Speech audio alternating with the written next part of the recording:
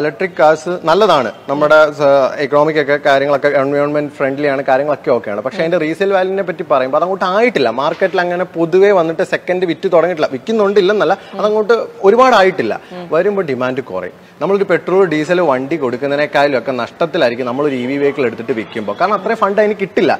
കാരണം അതിന്റെ മെയിൻ പ്രശ്നം എന്ന് വെച്ചാൽ അതിന്റെ ബാറ്ററി ഒരു ഏഴ് എട്ട് വർഷമാണ് ബാറ്ററിക്ക് വാറണ്ടി കൊടുക്കുന്നത്. ഈ എട്ട് വർഷം കഴിഞ്ഞ് ബാറ്ററിക്ക് എന്തെങ്കിലും പറ്റിക്കഴിഞ്ഞാൽ ഏകദേശം ആറേഴ് ലക്ഷം രൂപയാണ് റീപ്ലേസ് ചെയ്യാൻ.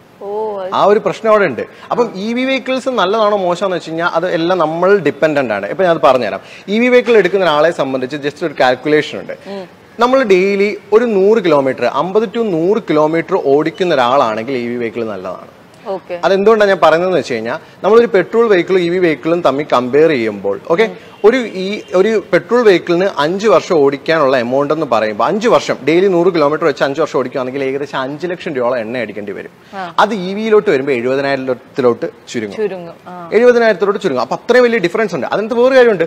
ഈ പെട്രോൾ വെഹിക്കിൾ നമ്മൾ എടുക്കുന്ന എട്ട് ലക്ഷം രൂപയ്ക്ക് ആണെങ്കിൽ ഇ വി വെഹിക്കിൾ എടുക്കുന്ന നമ്മൾ എത്ര? പതിനാല് ലക്ഷം രൂപ. ഒരു നാലഞ്ച് ലക്ഷം രൂപ ഡിഫറൻസ് ഉണ്ട്. അപ്പൊ അതിനെ ഇവിടെ മൈനസ് ചെയ്യണം. ഈ അഞ്ച് വർഷം ഈ എഴുപതിനായിരം രൂപ.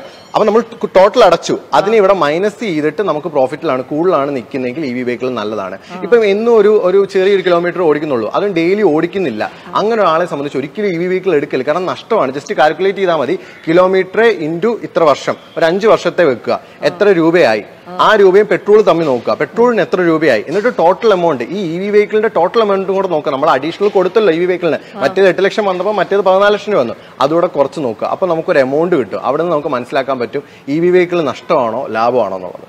അത് ശരി. യെസ് കാറും വീടും കഴിഞ്ഞു കഴിഞ്ഞാൽ പിന്നെ വരുന്നതാണ് സ്വർണം എല്ലാവരും പറയും സ്വർണത്തിൽ ഇൻവെസ്റ്റ് ചെയ്യൂ എന്ന് പറയും. സ്വർണം ബിസ്ക്കറ്റ് ഒന്നും അല്ല. നമ്മൾ ഇൻവെസ്റ്റ് ചെയ്യുന്ന വളയിലും അതെ, മലയിലുമാണ് അതെ, ഒരു നല്ല ഇൻവെസ്റ്റ്മെന്റ് ആണ്. തീർച്ചയായിട്ടും ഗോൾഡ് എന്ന് പറയുന്നത് എവർ ഗ്രീൻ ഇൻവെസ്റ്റ്മെന്റ് ആണ്. ഒരിക്കലും താഴോട്ട് പോവില്ല. ഇപ്പൊ സ്റ്റോക്ക് മാർക്കറ്റ് ഇടിഞ്ഞു ഒളിഞ്ഞ് താഴെ വീണാലും നമ്മുടെ ഗോൾഡ് മുകളിലോട്ട് തന്നെ പോകും.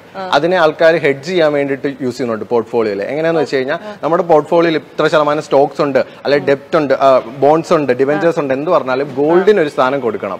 പത്ത് ടു ഇരുപത് ശതമാനം നമ്മൾ ഗോൾഡിൽ കൊടുക്കണം. കാരണം എന്താണെന്ന് വെച്ച് കഴിഞ്ഞാൽ എന്തൊക്കെ താഴോട്ട് വന്നാലും ഗോൾഡ് മുകളിലോട്ട് തന്നെ പോകും.